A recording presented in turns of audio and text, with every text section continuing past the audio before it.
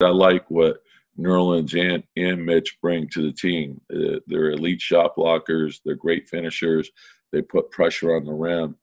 Uh, and so that's a very important part of our team. Uh, and we'll see how it unfolds. Uh, I, and again, starting is not a, as important as to who's finishing.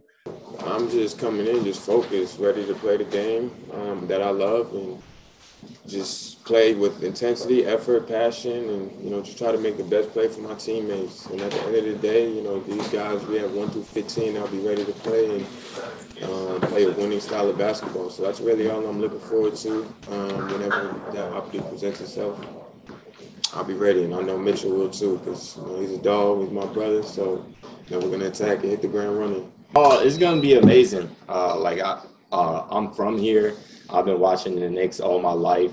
Um, my family has been a fan of the Knicks since I wasn't even born. So me having that opportunity to step on the court with these guys and, and compete against another team is going to be amazing.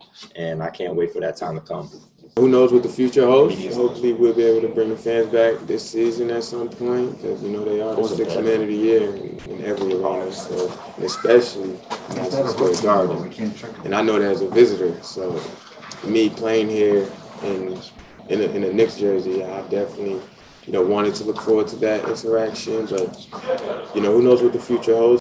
Well, I think it's critical. I think when you look at every team in the league, particularly the playoff teams, and there's a lot of different paths to getting stars.